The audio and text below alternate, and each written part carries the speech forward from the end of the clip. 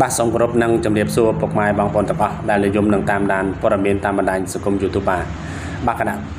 គណៈពេលនេះដែរខ្ញុំលើកយកព័ត៌មានបាទថ្មីថ្មីមកជម្រាបជូនដែលមានចំណងជើងថាក្តៅក្តៅសមត្ថកិច្ចព្រះសីហនុបានកំពុងតែធ្វើការជំនះប្រជាជនជាបន្ទាន់ព្រោះមានអាគារកំពុងតែស្រុត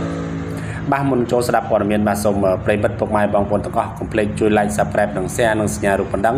ដើម្បីទទួលបានព័ត៌មានថ្មីថ្មីជាបន្តទៀតបាទក្រុងប្រសេនុដំណឹងជាបឋមភ្លាមភ្លាមក្រោយ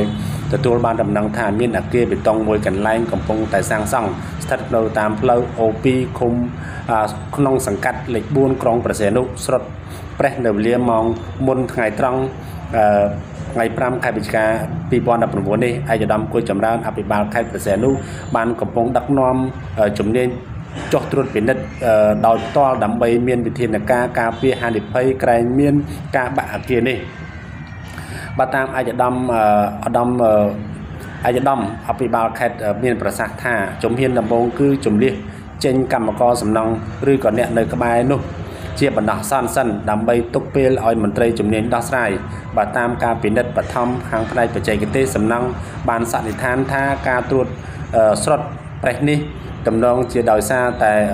សាំងសង់ជីកកាយគ្រឹះនៅផ្នែកខាងក្រោយជ្រៅពេក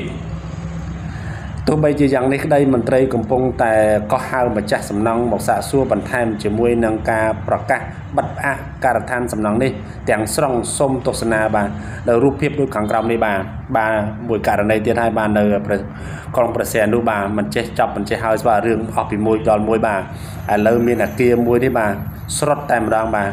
ឥឡូវនេះឯកឧត្តមបាទលោកបានចុះត្រួតពិនិត្យបាទ